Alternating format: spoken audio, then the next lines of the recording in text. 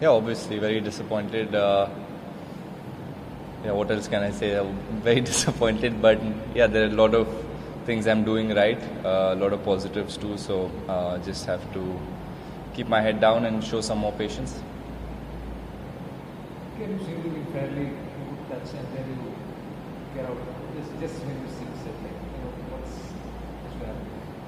Yeah, like I said, I just have to prolong the good things that I'm doing till I get to 35 and 45. And uh, yeah, I mean, I've been batting well. I've, you know, look comfortable and in both the innings. And um, yeah, my my headspace and everything is very good. So I'm, I'm happy about a lot of things. And uh, yeah, that just if I can keep my patience and you know just um, keep batting the way I do in the first 60, 80 balls. If I continue to do that for 200, 250 balls, then um, it'll obviously benefit me and, and the team. And um, yeah, that's what I'll look to do next match. Yeah, after Australia series, did you work on any specific things like technical things like after Australia series? And did you work on Um, not really, but you know, like after the Australia series, I obviously got some time off.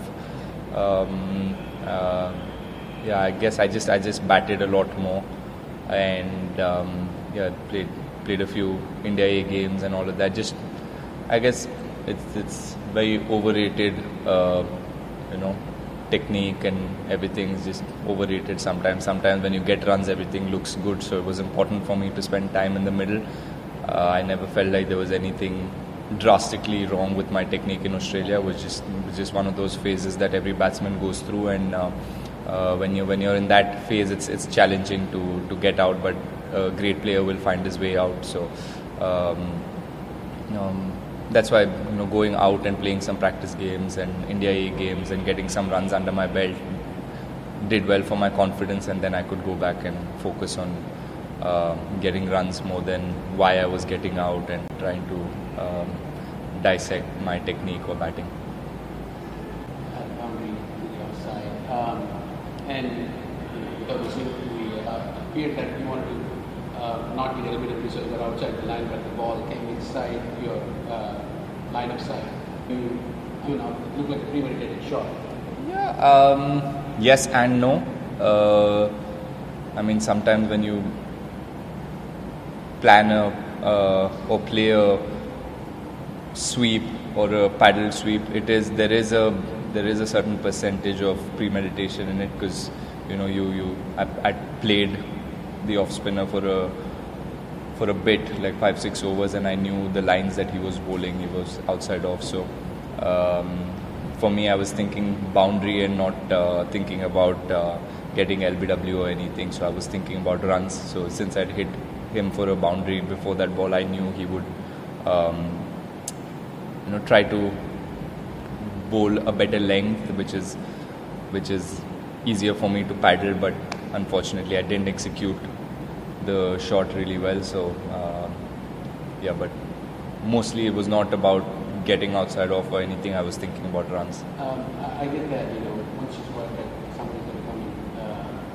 with this not going to be there, I get that. Um, when you said you didn't execute, like, what aspect of it didn't come through that uh, you wanted to do? Is it just you missing contact with the ball or something else? Yeah, like like I just said before that a lot of things are seem right when it comes off. When it doesn't come off, you can sit and dissect a lot of things. But uh, yeah, if I if I put bat on that uh, ball, that probably would have gone for uh, for four, and then that would have put a lot more pressure on the bowler. Uh, two boundaries in two balls, he would have you know probably pulled back his length. I could have got some more boundaries, but yeah, unfortunately, that's a battle that he won. Uh, probably won't happen again or probably will happen again but that's how batting is you try to uh, minimize your mistakes I just want to follow up on an earlier point you made. You said uh, uh, patience. Yesterday, Roston Chase talking about West Indies, their own batting innings. He said, uh, I guess, discipline. Um, those are two things, I suppose, especially when it comes to test match batting. How do you hope to marry those things going forward? You know, what has happened has happened, how would you marry those two things? When you say that I need to be more patient, yeah. With KL Rahul, given the same situation with he said two, three, or 20 matches down the road, would he still play the, the paddle sweep, expecting having it the fourth? Probably I will, and probably I will execute it a lot better. Uh, but again, look, the, I'm I've always been a player that's like to play shots against the spinners, and I don't like the spinners to settle down.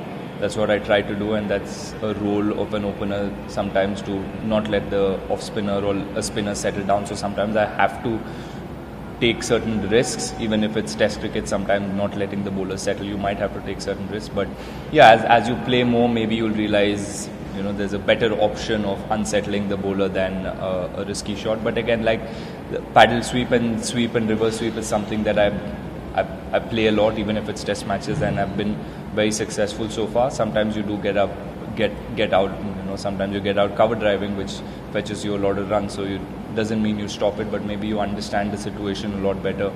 Uh, you know, I got out, then Pujara got out. So if we lost a couple of more wickets, that would have been you know tricky for the team. So as you play more, maybe you understand when to use your shots more than anything else. It's not that you'll never play the shot, but when to use it is what comes with experience.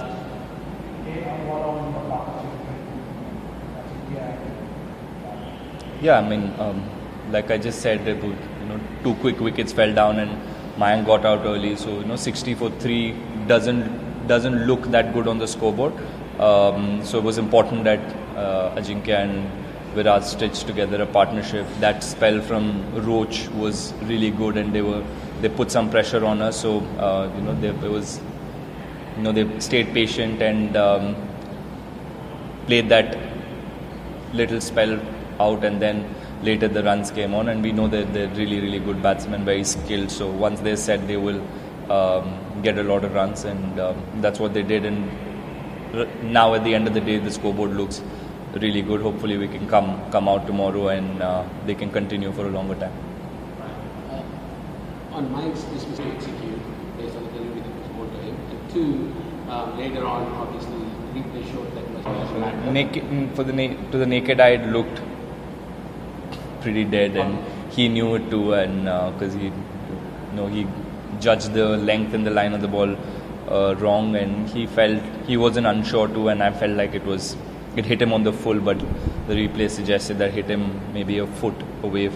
But uh, yeah, again, uh, like I said, you can think about it a lot, but at that you only get 15 seconds to decide whether to take the DRS or no. So um, it looked pretty out to me, and he was 90% confident that you know would, would, would hit the stump, so we didn't want to take that chance. And regarding the choice of shot, uh, to delivery, that full delivery that was wrong, uh, did you think anything at the point at all about it? Not, I mean, you can. You bowlers are allowed to bowl good balls, and as batsmen, you can put up your hand and say, okay, you bowl, you got me. Sometime you won that battle. He he beat him in in in length and line, and uh, yeah. Unfortunately for batsmen, that's that's all it takes. One one mistake or one ball, and you you can play well for hundred balls, and then nothing matters. You you still have to go back to the dressing room and start all over again in the next test match. So yeah, he's he's just started his test career and he's gotten a lot of runs in first class cricket. So uh, we know that he can get runs. He's skilled and he's shown that in, in Australia when he debuted. So um, I'm sure he'll stay hungry and he'll want to come out next time and uh, play his game and uh, get big scores.